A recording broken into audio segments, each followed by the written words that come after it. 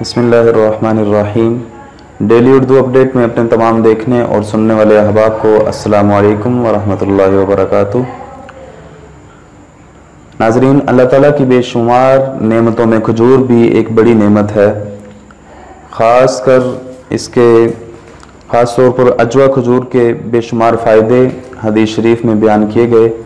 اجوا کھجور میں جادو کے اثر کو زائل کرنے کی بھی صلاحیت موجود ہوتی ہے۔ رسول اکرم صلی اللہ تعالی علیہ وسلم نے فرمایا، جس شخص نے ہر دن صبح کے وقت سات اجوا کھجوریں کھا لیں، اسے اس دن نہ کوئی زہر نقصان پہنچا سکے گا اور نہ کوئی جادو۔ ناظرین، کھجور کھانا سنت رسول صلی اللہ علیہ وسلم بھی ہے۔ کھجور کو مکمل غذا اور توانائی کا خزانہ کہا جاتا ہے۔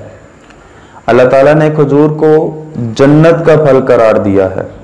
حکیموں اور ڈاکٹروں نے اجوا کھجور کے بے شمار فائدے بیان کیے ہیں، جو آج ہم آپ کو بتانے جا رہے ہیں۔ ناظرین، کھجور کو تھوڑے سے پانی میں بھگو کر پانی کے ساتھ استعمال کیا جائے تو دل کو بہت زیادہ طاقت ملتی ہے۔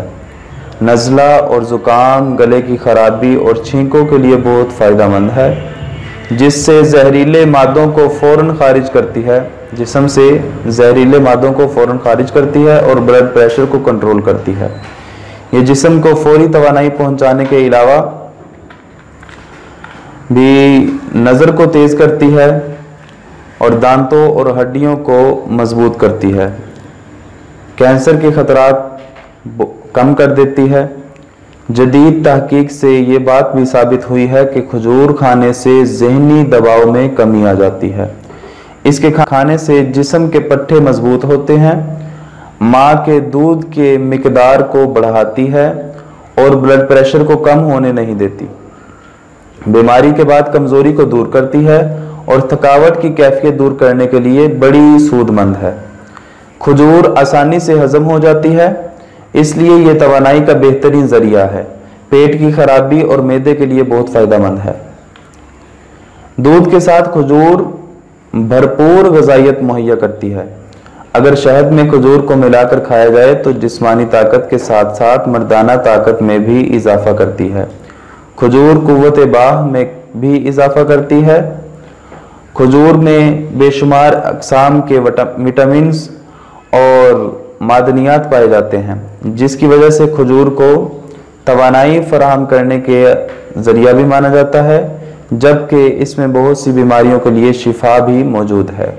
کھجور میں موجود بہت سے معدنیات انسانی جسم کے لیے انتہائی اہم ہیں۔